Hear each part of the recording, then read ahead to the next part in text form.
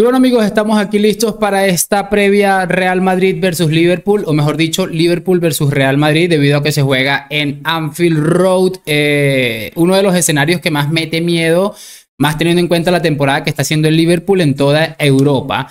Y bueno, ha hablado Ancelotti, me encantan, lo repito siempre y creo que a ustedes también les gusta mucho las ruedas de prensa en las que participan los futbolistas y eh, las de Champions son las que le permiten a, o que le exigen de alguna manera seguramente a un futbolista dirigirse ante los medios de comunicación. Y bueno, ha salido a hablar Jude Bellingham, quien es uno de los personajes favoritos del madridismo en cuanto a hablar, no solamente futbolísticamente, sino hablar ante la prensa. A mí me encanta escuchar a Bellingham, me parece un tipo y un muchacho, o sea, es que me, le llevo como 10 años a Bellingham, como 8 años, yo qué sé, una locura lo inteligente y la, la capacidad que tiene, no solamente para ser uno de los mejores futbolistas del mundo, sino para dirigirse a los medios de comunicación y atención. Porque en alguna ocasión se ha subido de tono ahí un poco lo que ha dicho Bellingham y sobre el final vamos a escuchar algo de Ancelotti que me encanta cuando Ancelotti se olvida de la basura que tiene que estar agradecido, que no sé qué, y empieza a echarle mierda al que se le atraviese. Me fascina esa faceta de Ancelotti. Hoy ha explotado definitivamente contra los medios de comunicación que le vienen a querer o intentan hacerle ver cómo tiene que hacer su trabajo. Así que bueno, vamos a arrancar. Me gustaría empezar como siempre por la convocatoria, aunque ya salió el día de ayer. Eh, siempre la saco para el video de previa y aquí ya la tenemos muchachos. Encontramos pues varias cositas donde vamos a encontrar en los porteros a Courtois, aparentemente bien recuperado, Lunin y Fran González. Eh, en los defensas, la defensa es que es, es un drama Lucas Vázquez, Vallejo, Fran García, Rudiger Mendy y Raúl Asensio. Por cierto, hoy leí que eh, básicamente hace mucho tiempo, desde Carvajal concretamente, no veían una, un crecimiento de un canterano así. Ojalá que tenga por lo menos el 60-70% de la carrera que ha hecho Carvajal en el Real Madrid. Aquí en los mediocampistas tenemos a Bellingham, Camavinga, Valverde, Modric, Arda Guller y Ceballos. A Valverde deberíamos colocarlo para acá porque seguramente vaya a ser lateral.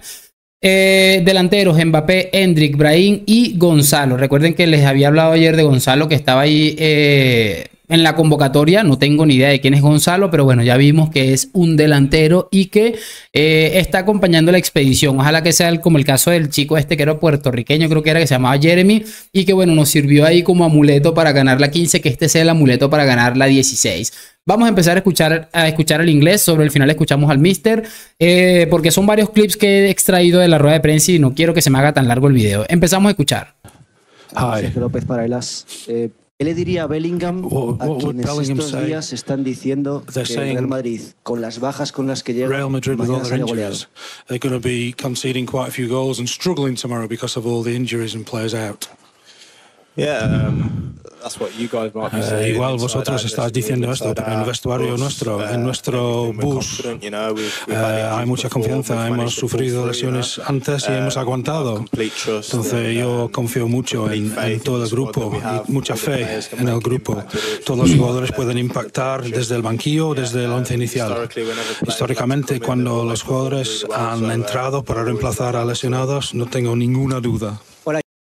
Bueno chicos, ahí empezamos bastante fuerte con la intervención de Jude Bellingham. Dice que ustedes están diciendo lo de las bajas, pero que él tiene plena confianza en este grupo de futbolistas, que si algo demostró el año pasado es que son una, son una piña, es un grupo bastante unido y que intentan sacarlo adelante pese a la cantidad de bajas que pueden llegar a tener y que bueno, no es un dato menor. Así que arrancamos fuerte con Jude. Me parece bastante interesante lo de Bellingham porque como les dije, la madurez se demuestra en cada intervención y aquí habla perfectamente de darle o transmitirle esa confianza a lo que es el, madridismo de que, bueno, hay lesiones y toda la cosa, pero aquí estamos para hacer frente a absolutamente todo. Escuchemos la siguiente intervención.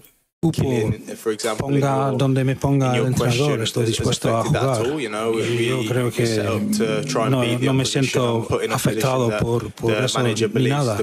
Siempre planteamos un, un equipo para ganar cualquier partido.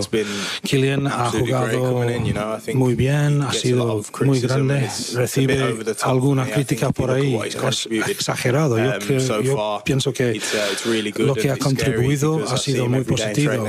Um, se asusta ¿no? cuando le, ve, um, le veo jugando en los entrenamientos. Estoy convencido de que va a mejorar aún. Pero hemos and sufrido bastantes lesiones. y in por eso he cambiado de, de puesto un poco y eh, son cosas que hay. Bueno chicos, ahí está lo que comentaba Jude sobre su compañero de, de, equipo y efectivamente su compañero de posición, o bueno, de, en este caso de la delantera, en el que añade un par de cositas. Sobre todo dice que bueno, ha jugado bien, que ha sido muy grande, que recibe muchas críticas y que muchas de esas críticas son exageradas, de que tiene un margen de mejora todavía. Comenta varias cosas y sobre todo lo que me llama la atención es que dice que asusta cuando lo veo entrenar. Eh, yo no sé si Jude eh, y compañía y todos los que están defendiendo el fichaje de Kylian Mbappé, que yo no lo estoy criticando, que no sé, no es lo mismo decir lo que está sucediendo a decir que fue un fraude, un fiasco, todavía no, no nos da para eso pero no sé si se han enterado que lo de los entrenamientos no cuenta para los torneos grandes. Pero de todos modos, bueno, es el mensaje que tiene que mandar Bellingham. Eh, entiende él que eh, los futbolistas en general suelen tener momentos complicados y en este caso, pues Bellingham lo ha entendido a la perfección y es el mensaje que creo que tiene que mandar. La siguiente. Se habló aquí en esta rueda de prensa que quizá Bellingham podía fichar por el Liverpool. Quería preguntarte qué hay de cierto y qué te llevó a fichar por el Real Madrid. And in the end you decided to sign for Real Madrid. So was there talk? Do you ever hear any talk about going to Liverpool a while back? No fue tan cerca a lo que ha dicho. Yo había mantenido conversaciones con varios clubes. Eh, cuando estuve en el Borussia Dortmund me he dado el permiso de conversar con varios clubes. Otros clubes me respetaron mucho, que es muy importante. Tengo mucho valor familiar y cuando Real Madrid te llama toda, toda la casa, hay vibraciones en toda la casa. Entonces, como he dicho antes, no es el hecho de que los otros equipos no eran buenos o malos o faltaban respeto, es que Madrid está en otro nivel. Y bueno chicos, una vez más, eh, Don Jude Victor William Bellingham ha declarado su amor incondicional al Real Madrid. Llama la atención sobre todo aquello que decía que eh, vibró toda su casa cuando le llama el Real Madrid y que bueno, no se trata de si un equipo, en este caso el Liverpool, que es el ejemplo que le han puesto, eh, sean buenos o malos, sino que cuando te llama el Real Madrid, pues la cosa cambia y de manera radical. Así que de mi parte, ¿qué quieren que les diga? ¿Cómo no vamos a querer a un tipo como Jude Bellingham, que con el poco tiempo que tiene allí ha tenido ese gesto de amor incondicional hacia un club con el que cualquiera entendería que no, no debería estar ni siquiera medianamente involucrado? Continuamos. First bit, yeah. Was, oh, about the, cha- oh, yeah, the new challenge. Yeah, yeah. Are you sort of shouting yeah, and banging on the table? Much, I lost me, lost my mind. He perdido. Um, yeah, criticism is part of the game, uh, and, and, I know how to accept it. But when sí, it goes las críticas um, forma parte del juego. Por, por cuando se trata de críticas personales, sí te da otro reto para hacer callar a la gente. Y, um, la gente, por ejemplo, al principio de mi carrera ha dicho que no, no está preparado para jugar, no está listo para jugar.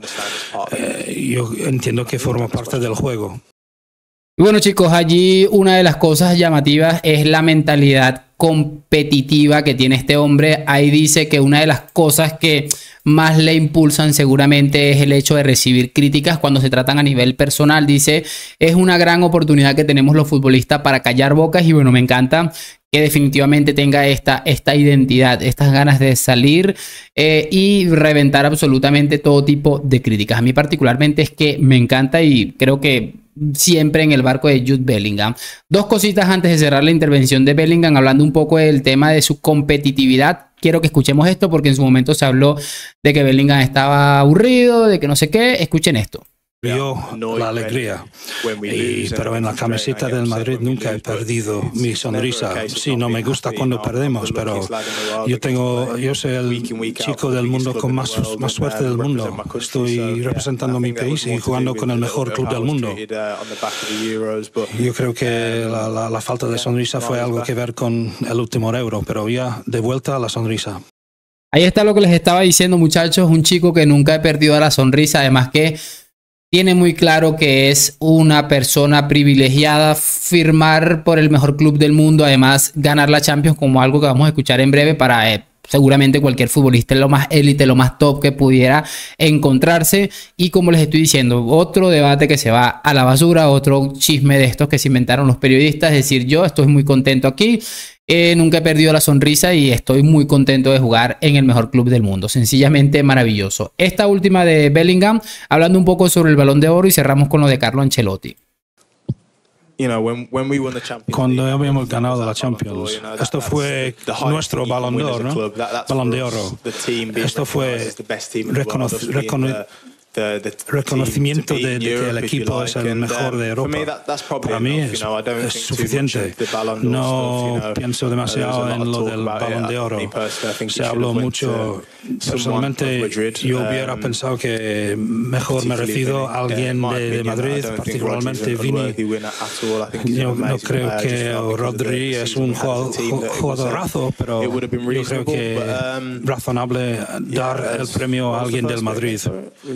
Y bueno chicos, ahí está lo que les comentaba de Jude Bellingham sobre el balón de oro. Todo el mundo tiene muy claro que es eh, una patraña absoluta y total lo que ha sucedido con el balón de oro. Eh, pero mira que le resta importancia y creo que es lo que hay que hacer. Ya Florentino Pérez para mí dio la estocada final a este tema de los corruptos del balón de oro y creo que hay que darle la, darle, darle la vuelta a la página. Como dice Bellingham, ya nuestra, nuestro balón de oro particular ha sido levantar la UEFA Champions League, que lo normal o lo mejor hubiera sido que lo hubiera recibido alguien del Real Madrid o eh, en su defecto Vinicius, particularmente hace el comentario sobre Vinicius y bueno, por eso le estoy diciendo, me parece contundente el mensaje. Lo importante es la Copa de Europa. Y lo que les dije, si el Madrid vuelve a ser una temporada similar a la anterior y pasa otra vez esto y uno de estos está allí metido, lo que me gustaría a mí es que los plantaran, que, ah, sí, sí, hasta última hora vamos a ir, vamos a ir, y que no asistieran a ninguna gala más. Vamos a cerrar con lo que les decía Ancelotti porque le digo, les dije, estaba hasta las pelotas de que se le cuestione, yo creo que con, justicia, con justa razón. No, yo pienso que, que pienso que, que oigo muchos consejos eh, pero creo que no hay que olvidarse que he hecho 1.300 partidos, he hecho 1.300 alineaciones, he hecho casi 4.000 cambios. Y creo que nadie aquí me puede dar consejos en este sentido. Y bueno, chiquillos, ahí está lo que les decía Ancelotti. Eh, es un a ver, eh, yo tengo todo este bagaje, toda esta experiencia en primera división, haciendo montones de alineaciones, montones de cosas, etcétera, etcétera. ¿Quién me va a venir a dar consejos sobre cómo debo hacer mi trabajo? Tú, eh, totalmente de acuerdo con Ancelotti, pese a que, bueno, se ha ofendido, fastidiado un poco de tantas críticas y tantas sugerencias yo creo que es el mensaje que debe mandar. Ya Ancelotti es que esté poniendo la otra mejilla, el mismo cuento con el tema del Real Madrid y el Club Señor.